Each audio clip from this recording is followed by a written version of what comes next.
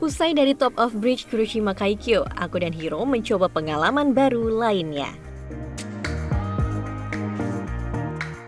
Kami singgah di Dolphin Farm Simanami. Di lokasi ini, kami dapat berinteraksi langsung dengan lumba-lumba.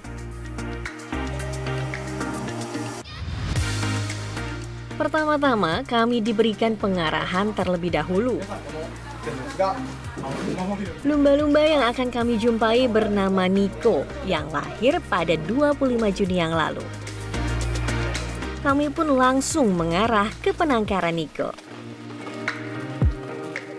Bersama pelatih, Niko yang memiliki panjang 2 meter 40 cm ini akan berinteraksi dengan pengunjung. Selama berinteraksi, Niko akan diberikan makanan berupa ikan makarel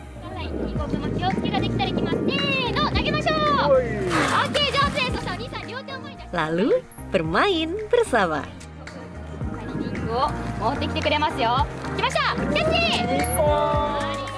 Nah dia ini suka banget di elus. たまにどこ落ちちゃうことがあるから気をつけて。そしたらまず手前のお二人か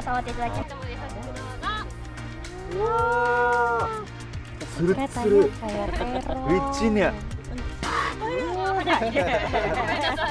Surut surut. Licin ya. 大体5分から10分息を止めるこ Jadi とができる sekali ので。 nafas 5 menit. Sekali nafas 5 menit. Ini dia bagian yang paling menggemaskan. Kami dicium sama Niko. Wah, rasanya dingin dan basah di bagian pipi. Niko mencium kami sekitar 10 detik loh. Waktu yang lumayan lama kan, travelers? せーの、1、2、1、2、Terakhir, aku dan Hiro pun berhitung sambil Niko memutarkan badannya.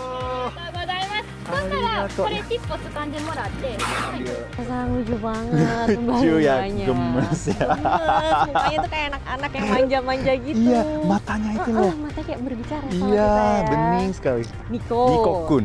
Karena Niko kun. kenapa pakai- pakai kun? Hmm. Karena dia jantan. Heeh. Jadi semua gerakan yang kita lakukan tadi itu masih latihan, masih tahap latihan. Oh, Oke. Cuma kebetulan hari ini sukses semua.